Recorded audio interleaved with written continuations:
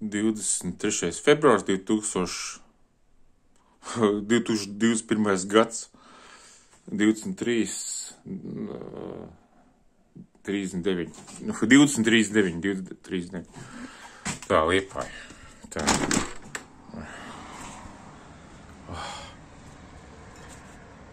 Vienkārši mīglojā. Man likās, ka tur, tur kur tās divas puldzītes deg, uh, puldzītes lampiņas deg, man likās, ka tur kaut kas deg, bet izrādās tā vienkārši mīgla vienkārši. Baigā mīgla nāk, likās tur tāda mutuļo tāda dūma, likās, o, jo, haidī, baigi.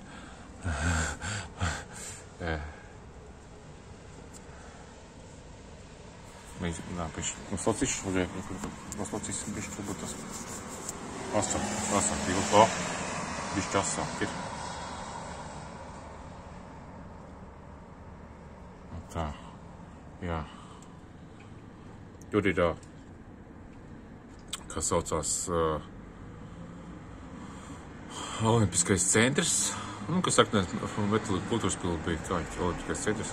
Tas ir tāda doma, likā- man, man likās, ka tur kaut kas deg, bet tie, nu, tā- tur ir, varbūt tur ir kaut kas deg arī īstenībā.